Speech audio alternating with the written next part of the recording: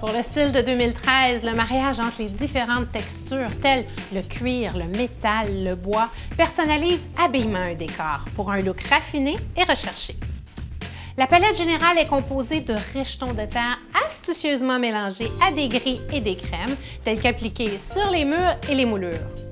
Le foyer a aussi bénéficié du même traitement afin de dissimuler les anciennes briques qui étaient jaunies. En accent, nous avons choisi un jaune très délicat qui illumine le décor. Si vous voulez unifier une aire ouverte, le plafond peut vraiment être la solution. Ici, il crée un lien entre la salle à manger et le salon, et puis les murs et les accents, afin de toujours bien agencer le tout, tout ce que vous avez à faire, c'est de reproduire et de répéter la couleur d'une section à l'autre. C'est vraiment une astuce très simple et très efficace pour un succès assuré lors de votre coloration. Dans l'autre transformation, la couleur du plafond unissait la salle à manger et le salon. Maintenant, regardez le changement.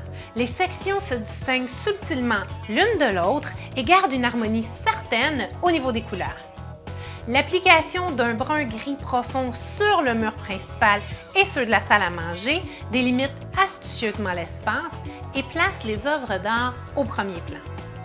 Grâce à cette couleur, la salle à manger est élégante et le foyer reprend la place d'honneur qui lui revient.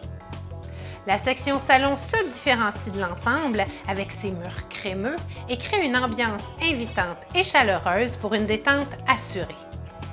Pour recréer ce style, utilisez une palette riche et profonde, des meubles de faction classiques, de nombreux accessoires de différentes textures et l'ajout de quelques pièces artisanales compléteront le décor.